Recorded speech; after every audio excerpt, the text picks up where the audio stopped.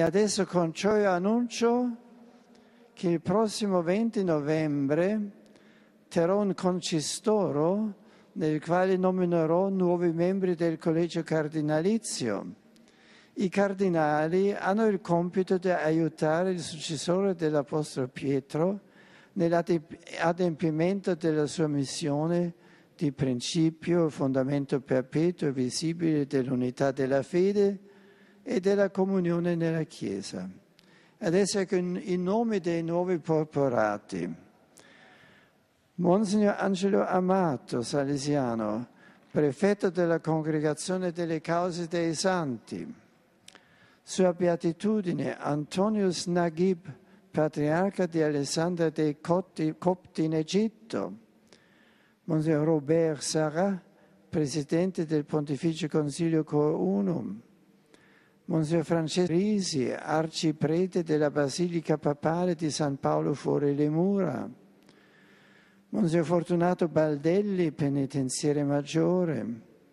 Monsignor Raymond Leo Burke, prefetto del Supremo Tribunale della Segnatura Apostolica. Monsignor Kurt Koch, presidente del Pontificio Consiglio per la promozione dell'unità dei cristiani.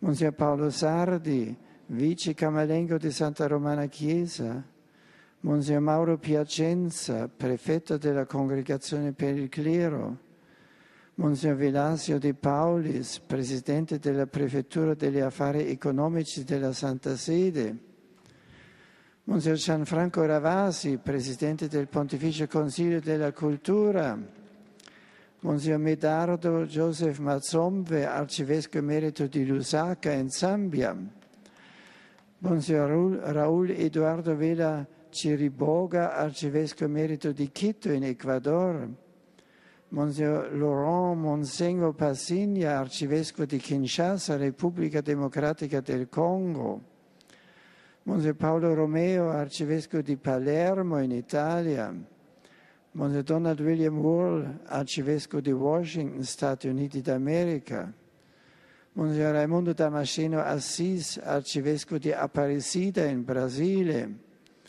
Monsignor Casimir Cnic, arcivescovo di Warszawa in Polonia, Monsignor, Monsignor Albert Malcolm Ranchit Patapendigedon, arcivescovo di Colombo in Sri Lanka, e Monsignor Reinhard Marx, arcivescovo di München und Freising in Germania.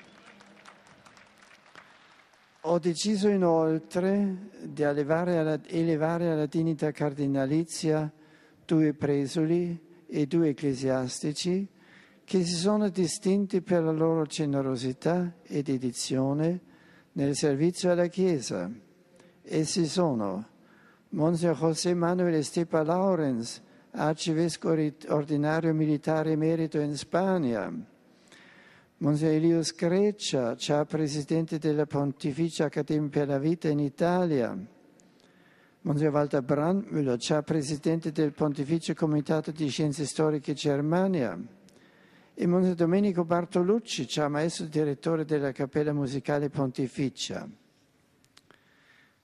Nella lista dei nuovi porporati si riflette l'universalità della Chiesa Essi infatti provengono da varie parti del mondo e svolgono differenti compiti al servizio della Santa Sede o a contatto diretto con il popolo di Dio, quali padri e pastori di chiese particolari.